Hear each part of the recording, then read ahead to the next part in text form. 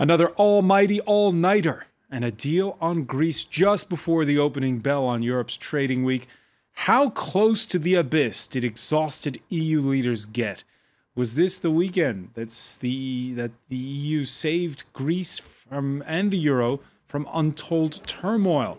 Or will closer scrutiny of the deal further expose a growing gap between north and south on this old continent, between France and Germany? And will painful reforms be enough to put Greece back on the road to solvency more broadly at a time when Britain is thinking of leaving the EU? As the standoff rages with Russia, has Europe proven itself worthy and up to the task? Today in the France 24 debate, there is no Grexit. And with us, uh, he's advised governments and the European Commission. Jacques Rupnik, director at CERI and Sciences Po, the political uh, science uh, institute. Thank you for being with us again here, here in the debate. Thanks for having me. Uh, joining us from Berlin, uh, Daniel Stelter, founder of Beyond the Obvious, the think tank, and author of Debt in the 21st Century. Uh, I suppose it's a take it's a take on Capital in the 21st Century, the best-selling book by uh, French economist Thomas Piketty. It is, yes. Good evening. Thank you for joining us here in the in the France 24 debate, where you can join the conversation on Facebook and Twitter. Our hashtag F24debate. A deal at what price? By July the 15th, uh, Greece has to reform its VAT system, improve the, the sustainability of its pensions, prove the independence of its national statistics agency so the government's fiscal data can be shown as reliable to the outside world, and also uh, create an independent tax authority that can automatically reduce spending if budget targets are missed. The measures that the deal includes are the measures that were voted for by Parliament, measures that will create unavoidably recessionary trends but I have the feeling, the conviction, and the hope that the 25 billion euro development package that we've achieved, the restructuring of the debt, but also the secured financing for the next three years will create the feeling for the markets and for the investors that a Grexit is a thing of the past. Uh, Daniel Stelter, uh, is it mission impossible or has the euro been saved? Well, you know, I would say it's a it's a bad day for Greece, it's a bad day for Germany, and it's a bad day for Europe. And let me explain to you why. Because for Greece, nothing was was fixed. As the problems keep on growing, I think the numbers are um, not to be taken serious. Because in the end, if you're bankrupt, you cannot grow you out of bankruptcy. It's impossible. Uh, Greece needs a debt relief, and clearly, it's not a very clever policy from the German side to push. Um, Greece and other countries for reforms because even if you give money, you end up as being not liked. Just look at the uh, public discussion going on. So for Germany, I think it's the worst combination of everything which has happened in the past years, giving money and then still being blamed for it. And that leads me to the final point. In my view, it's been a very bad day for Europe because for five years now, European leaders kick the can down the road and don't address the fundamental issues. We all know by now that the euro was a flawed concept.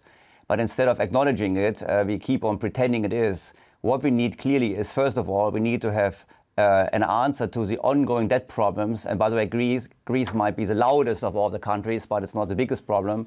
So we need to have an answer for the unresolved debt crisis in Europe. And we also need to have an answer of how we deal with the rigidities of adapting different economies uh, in a fixed exchange rate system as the euro is. And we have not come up with the answers, and therefore, in my view, we have actually made the problem even bigger uh, in the last weekend. And um, we need urgently a change of course if we want to keep Europe together. Jacques Rupnik, do you agree that uh, it's a bad day for Greece and a bad day for Europe, and that we're kicking the can down the road? Uh, well, it depends what you. If you look at it from perhaps from a strictly monetary point of view, that might be the case.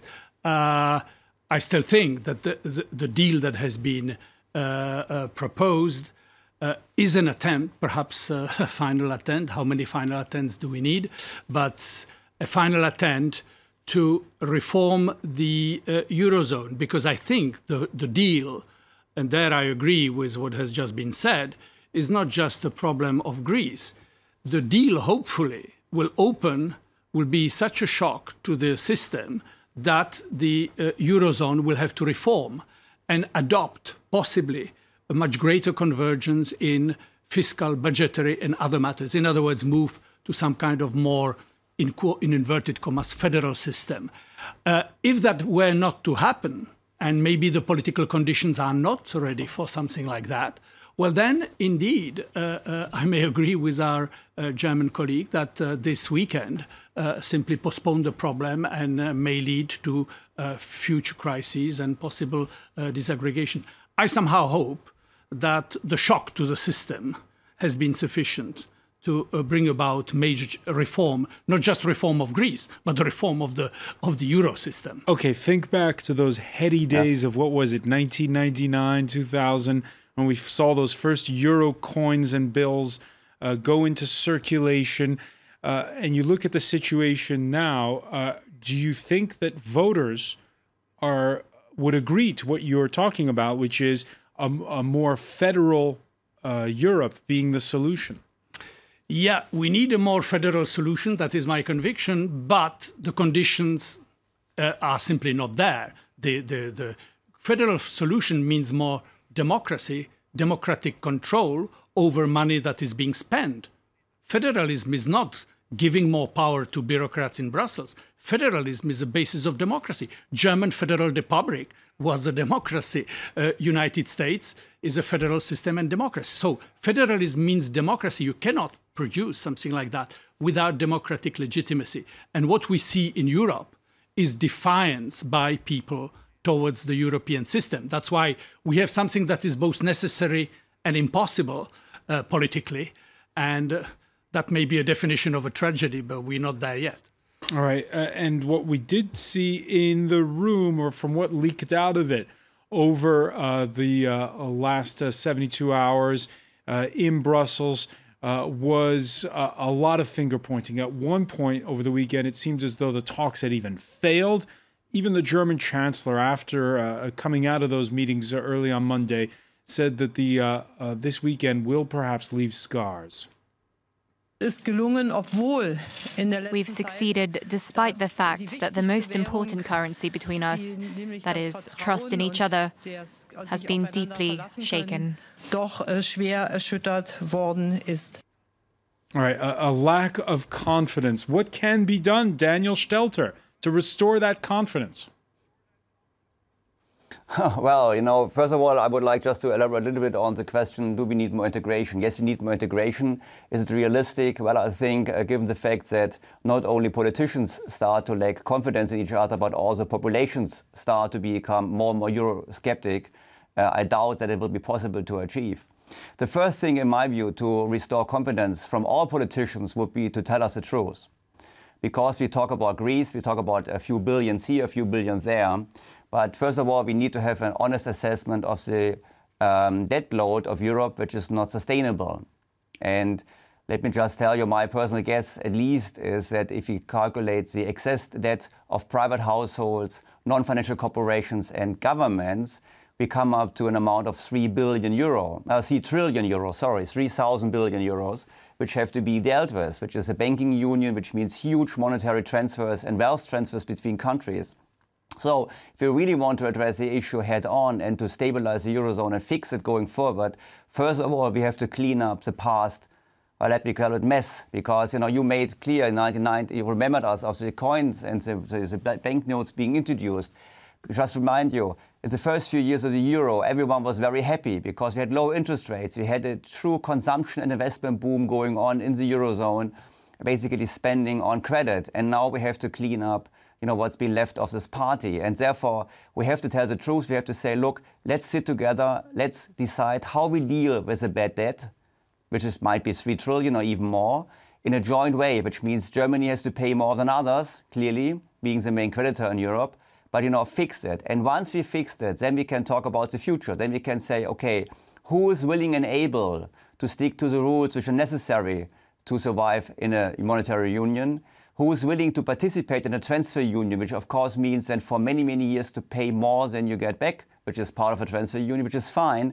But first of all, in order to restore confidence, we have to have leaders in all countries telling us what is the price we have to pay for this project to succeed. We didn't see that conversation during the 2012 presidential election in this country, in France. Uh, we almost saw it, uh, but uh, then Mr. Draghi opened up the cash of the European Central Bank, and the debate was over because suddenly the debate between right and left about more discipline in the budget and more uh, uh, Keynesian approach to the economy suddenly uh, was overwhelmed or let's say overshadowed by by the uh, new context where suddenly money was available. But I think it is Uh, interesting uh, uh, what our German colleague has just said. That is, you maybe need, if you want to go further, you will have to clarify things. And what kind of European monetary union do you have in mind?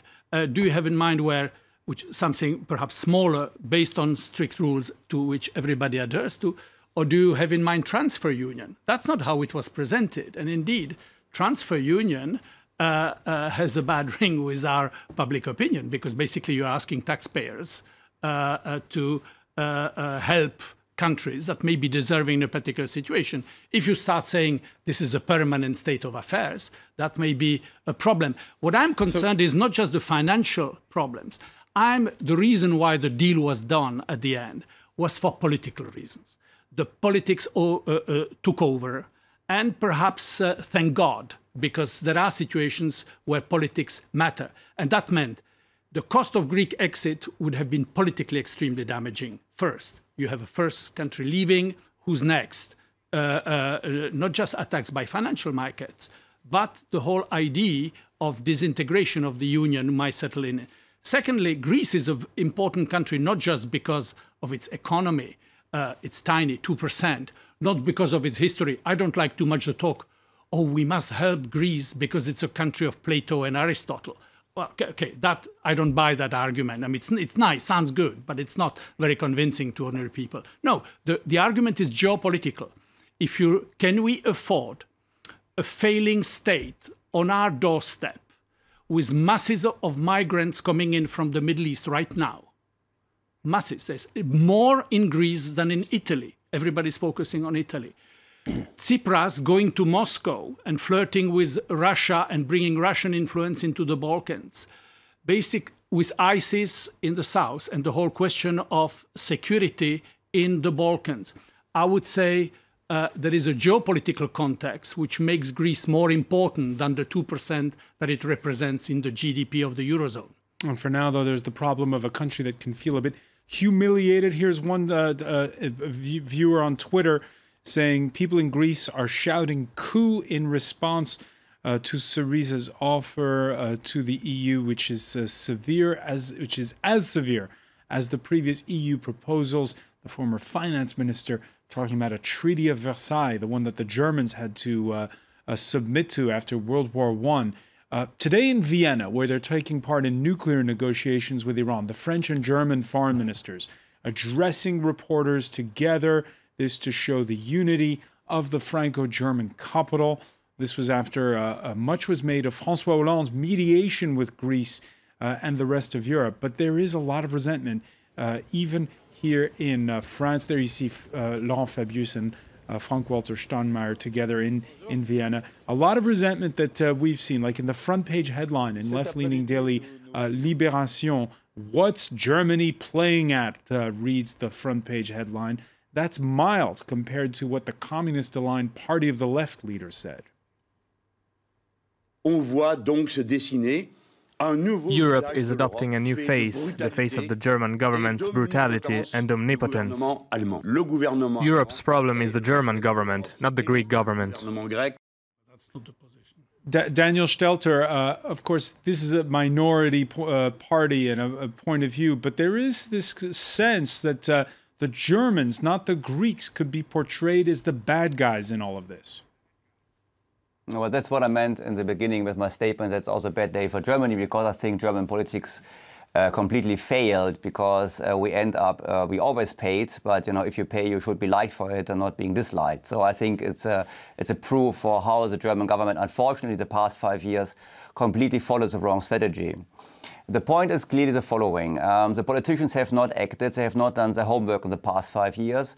The ECB, Mr. Draghi, as was correctly mentioned, has um, basically rescued the Eurozone by uh, promising to do whatever it takes and continuing to do so, because otherwise interest rates would be much higher. And so they gave time for the politicians, but they have not acted. And now we have clearly the situation where um, I would say, well, the difference between France and Germany is simple. The French, um, you know, I would say, well, we have to have a polit political solution to all the issues. And I would agree, but at the end, in the end, something has also to be financially feasible and economically feasible. And currently, we are stuck in a situation where we hope that just by adding debt to debt and adding even more debt to debt, we can fix the problem. Um, some Germans would say that's the approach of the French. The point clearly is if we want to prevent Europe from falling apart and going back to the bad old days where we have hate between populations, we have really to ask, answer the question can we fix the euro or should we rather abolish it? And if we want to fix it, we have to find a solution for debt relief and debt restructuring on European scale. And we clearly have to come back to a situation where countries decide for themselves what they do because the worst thing we can have is a country getting into trouble on its own for its own reasons. And does that remind us, Greece was in trouble or is in trouble because of their own mistakes until 2010. So the point really is we have to make sure that the politicians of the countries like Greece and Italy and Spain and Portugal and Ireland, they have to go back and say it was our mistake and we have to clean up our mistake and not give them the Germans as a scapegoat to say we have to do it because the Germans want it. Therefore, we are in a very dangerous situation, and that's why I feel it's a very uh, bad process. And it's good to see that the French and the German foreign ministers now stand together and, and, and, and uh, demonstrate um, how close they are. In reality, we are fundamentally apart. And this has to be resolved quickly. And this goes back to my point I made before, which means, first of all, we have to be open and transparent on the debt problem and address it. Uh, and secondly, we have to say what is necessary in order to get our economies working closer together. And this might be that probably not every country in the long term is ready and able to stay within, within the Eurozone. And just one last word. I personally think it's very clear to everyone that now, having had the discussion in Greece, we will have other countries either voluntarily coming back and say we want to leave, like Italy. So it's just a question of time.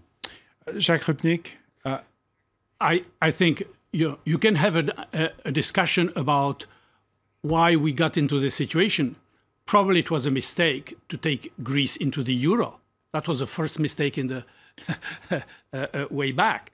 Uh, uh then uh, uh, many economists argue that it was a mistake to impose the austerity policies during the crisis, which have strangled the Greek economy and made the repayment of the debt but is even there, more is difficult. there a bigger problem uh, and that is that uh, Europe, when it was when it was built, uh, it wasn't built on financial considerations, and there's a fundamentally different view to money when you're in Southern Europe when as to when you're in Northern Europe. Well, that uh, that may be that may be true. That uh, you know that uh, the uh, German, because of the experience of the interwar period with inflation, have a much more stricter and disciplinarian attitude towards uh, but so do the Finns, towards the, the currency. The... the... French, for uh, uh, different historical reasons, have a different attitude towards that.